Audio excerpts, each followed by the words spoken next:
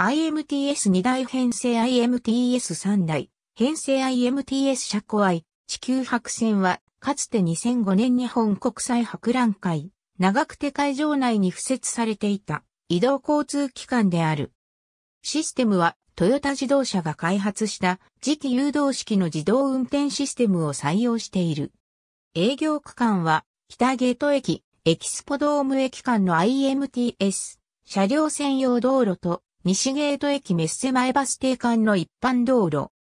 専用道路の部分は財団法人2005年日本国際博覧会協会が愛知万博の開催期間に限定して第一種鉄道事業の許可を受けた鉄道路線の扱いである。専用道路区間 CNG エンジンを搭載したバスタイプの車両が使用された。鉄道車両としての形式は IMTS-00 系。専用道路では路面に設置された磁気マーカーによって2から3台の車両が自動的に誘導される隊列走行を行う。会期中約1万4000往復したが、コンピュータ制御のため走行位置の左右のズレは1センチにも満たなかった。